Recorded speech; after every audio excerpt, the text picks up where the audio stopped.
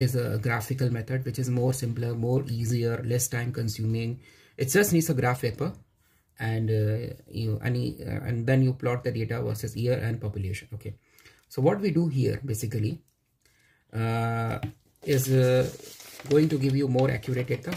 So you just need a simple graph paper. So what you need you just you can see here the data is just the year and population. 1880 we have 25,000 and then subsequently the population is increasing. So you just have to plot the data here okay? And then in this question you have been told to find out the population for the year uh, i think 2000 okay? So what you do here you simply uh, simply plot the data okay? And then you can see here the uh, where we have uh, on the on the x-axis we have population and sorry this is population this is year. You can say this is year okay? This is year on the x-axis and on the y-axis we have population okay? So it is population versus year graph. So what you do you plot the you plot the population versus year okay and mark the points. And then you have to draw the curve okay?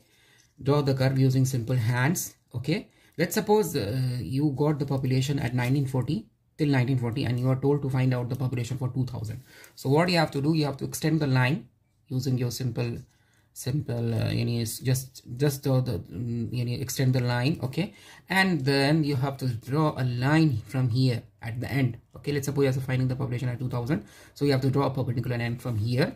And where the line is intersecting this point so here you have to draw a parallel line which is which is which is parallel to this this line basically the year line. So you have to draw a line. And then where the the the curve is intersecting this is your population at the year 2000 where you are not using any formula not using any any kind of uh, any uh, tedious formula or any kind of any tedious method. So you just have to draw a line perpendicular line and, then, and where the line is intersecting you have to draw a parallel line. And where the line is intersecting will, will give will give you the value at the end of the year 2000 which is very very simple as compared to the other methods. So i hope you all understand this is called graphical method or a simple graphical method